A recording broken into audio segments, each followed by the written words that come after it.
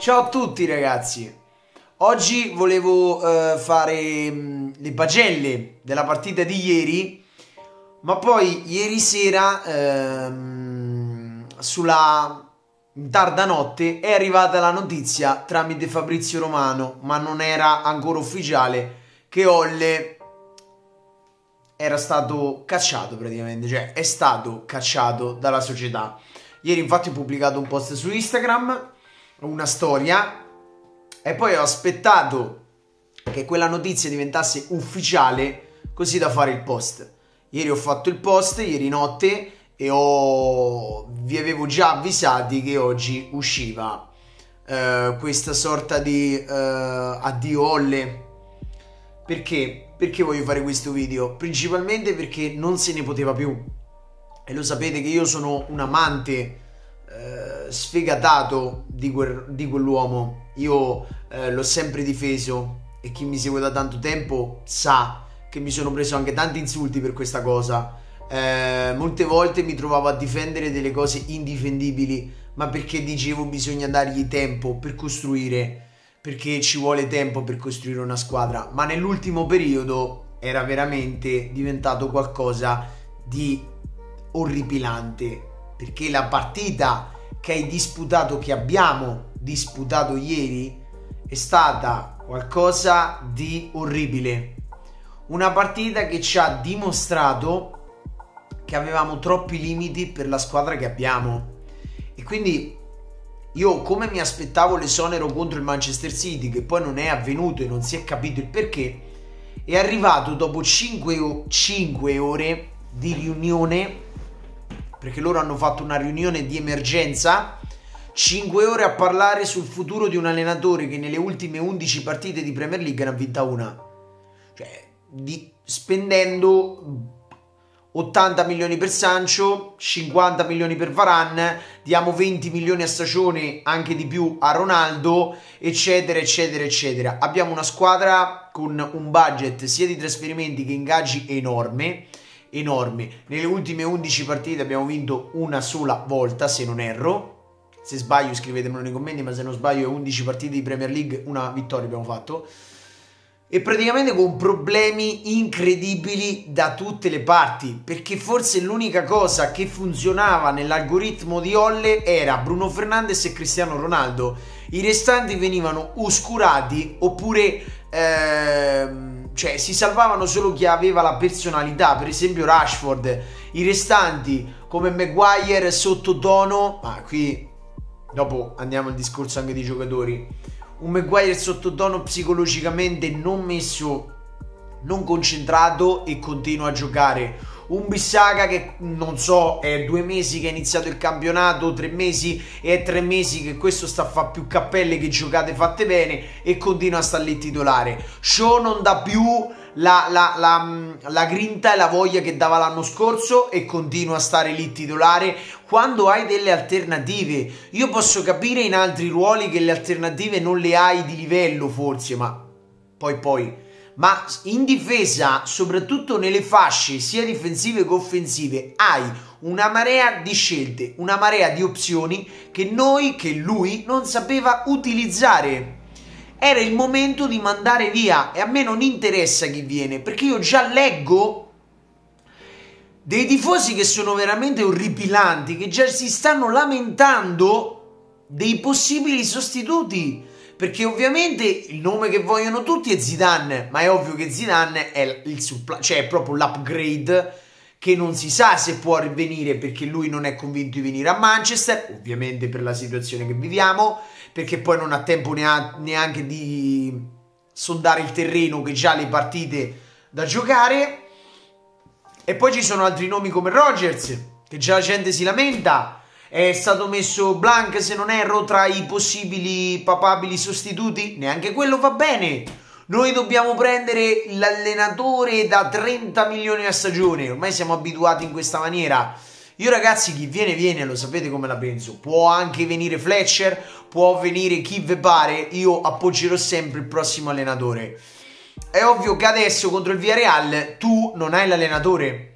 Ragazzi, ora sono le 13.43 ragazzi noi martedì alle 18.45 giochiamo contro il Villarreal in casa il Villarreal manca pochissime ore che mancano veramente 24 ore. Manca veramente pochissimo tempo e noi ragazzi non abbiamo un sostituto. E al momento non credo che la società possa andare a prendere un nome conosciuto come Zidane, come Rogers, non penso che sia una trattativa possibile e facile soprattutto. Perché è poco tempo, tu in poche ore dovresti chiamare Zidane e fare una trattativa velocissima, cosa che non credo che possa avvenire. Quindi io credo che eh, i sostituti possano essere due per questa settimana. Settimana barra partita col Villarreal, dopo la partita col Villarreal. Cioè partita del Villarreal e poi va via anche questo sostituto che si chiama Fletcher o Carrick. Due ex leggende, tra virgolette, perché sì, due ex eh, grandissimi giocatori dello United, eh, storici, due grandissimi giocatori storici. Carrick è veramente fenomenale, Fletcher lo era un po' di meno, però due grandissimi giocatori ehm, a livello di club, conosciuti da noi tifosi, come lo era Olle. Quindi prendere uno di questi due e farlo allenare per la partita con il Villarreal. Questa è l'intenzione della società. E non è del tutto sbagliata, ma fa incazzare il fatto che tu hai aspettato cioè le due settimane nazionali. Cosa stavi facendo? Cioè tu hai dovuto poi fare queste 5 ore dove vi siete seduti sul tavolino a, dis- a parlare di cosa?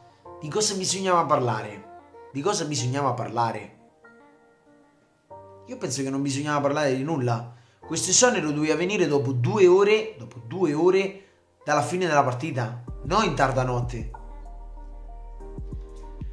Quindi adesso noi avremo la situazione veramente brutta perché abbiamo, mm, abbiamo il Villarreal, poi il Chelsea, poi l'Arsenal, poi riabbiamo la Champions League. Quindi la situazione è veramente, veramente, veramente delicata, veramente, veramente brutta. Ma io voglio fare un discorso a quei tifosi che credono già che il veleno di questo club sia finito. Non è così. Perché come si dà la colpa a Olle, bisogna dare la colpa anche a chi giocava. Perché determinati errori avvenuti in questi tre mesi di questo inizio di stagione non sono solo colpa di Olle. La mancata marcatura nel gol dell'Eister, se non erro nel secondo gol, di chi è la colpa di Olle? O dei difensori che non sanno marcare. Il, te, il gol contro il Liverpool dove Shaw, il gol che abbiamo preso contro il Liverpool dove Shaw e Maguire si scontrano e fanno un errore da veramente da serie D, di chi è la colpa? Di Olle? I, i, I continui errori sotto porta, di chi è la colpa? Di Olle? No. La colpa ovviamente Olle ne ha e ne ha veramente tanta sulle sconfitte che abbiamo ricevuto nelle ultime giornate. Ma non puntiamo il dito solo a un uomo, perché è facile fare così, è facile sputare e spalare merda a, a una sola e singola persona e tapparsi gli occhi e far finta di non vedere gli altri errori, perché non è così.